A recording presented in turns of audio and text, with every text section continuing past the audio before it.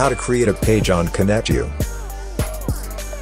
Pages represent businesses, companies, organizations, brands, industries, ideas, public personnel, places, just to name a few.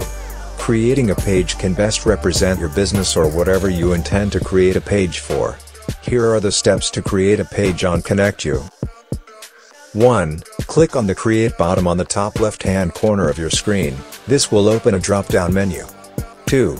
Navigate to the bottom of the list and select the Create Page option, this will take you to a new page.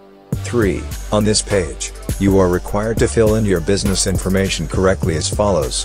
4. Fill in your page name, that is the name of your business, organization, brand, etc. 5. In the page URL or Uniform Resource Locator, fill in the link of your page.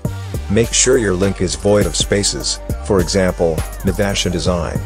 A URL is a unique link that anyone can click on or follow to arrive at your page. This will save them the stress of searching for your page. 6. Select a category that best describes your page from the list of categories. 7. In the description box, fill in your description. This is a detailed description of your business, organization, brand, etc. 8. Click the Create button to create your page. You are not done yet for there are some key things you need to do. 9. On the page click on the Edit button to further customize your page. 10. Select a subcategory of your page if necessary. Select your page call to action from the drop-down list and add the corresponding URL to this call to action. A call to action is what you need people to do when they come to your page. For example, if the page is about my online shop or store, I will select Shop Now from the drop-down link and copy the URL to my shop and paste in the required box.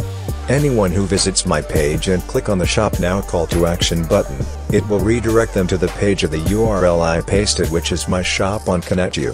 Click on Save and proceed to the next page by clicking on the flag icon on the top of the page. 11.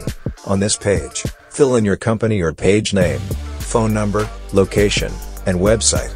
The location will help direct people easily to your business by the use of Google Maps if you have enabled location visibility on your settings and device settings. Click on the Save button and proceed to the next page by clicking on the F icon above.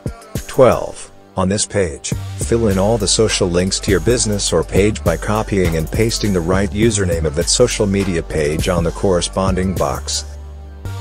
Note, to get the username of any of your social media page, open the corresponding social media page on a browser, for example, for a Facebook page, or a YouTube page, or an Instagram page respectively and copy the last section of the URL after the www.facebook.com or www.youtube.com, or www.instagram.com, etc. and paste it in the corresponding box. Save and move to the next page by clicking on the picture icon on the top section of the screen. 13. On this page, add the cover art of your page by clicking here and select the appropriate cover photo that best describes your page or business. Click here to select and upload your business or page avatar.